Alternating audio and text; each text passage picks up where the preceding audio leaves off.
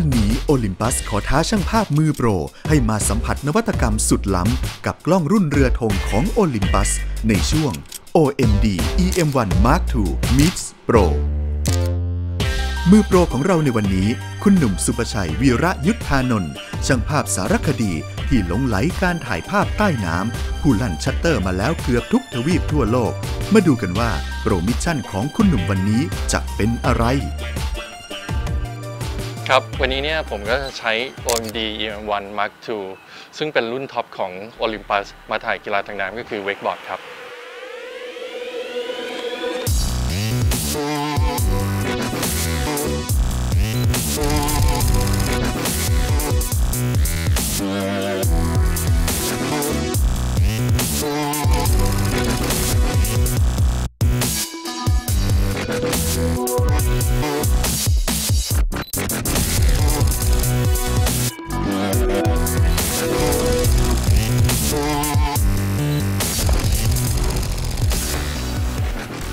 ไวมาก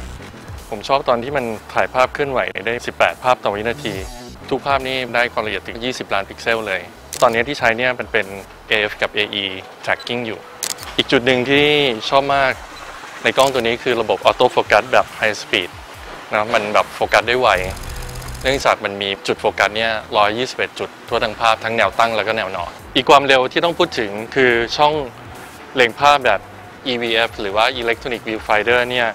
มันดูเป็นธรรมชาติเหมือนมองด้วยตาเปล่าเลยเมื่อกี้ที่ถ่ายภาพมาครับเป็น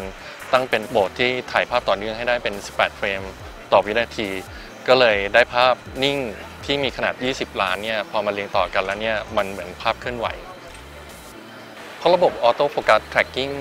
ของกล้องตัวนี้นะครับทำได้ค่อนข้างดีในการจับภาพ action เคลื่อนไหว